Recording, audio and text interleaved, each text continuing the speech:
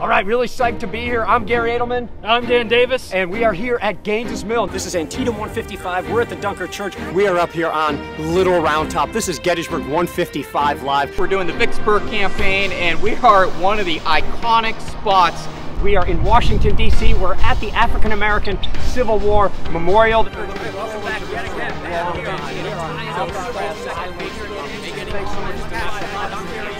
And here we are. We're going to be going around here for two hours. We got lots of stuff to see. We have special guests. Most people, when they think of Alcatraz, think of the prison, but what we try to do is tell them that this is a national park because of the military history. This was a Civil War fort. It was a Civil War prison. It was a military prison much longer than was ever a federal penitentiary.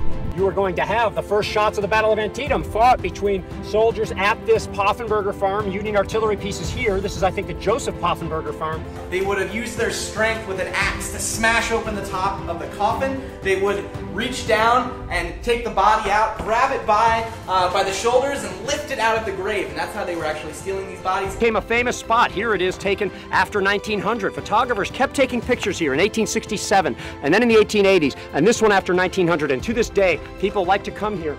We're going into the very bowels of the USS Cairo.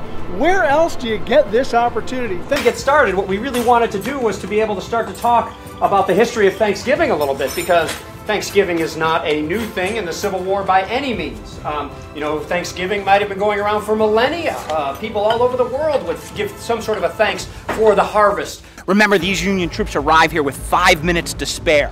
And of course, as they bring them out, we now have the next part of the connection. We are now at the very left end of the Union line. The 83rd Pennsylvania off to our right, and we have now the 20th Maine set up right here.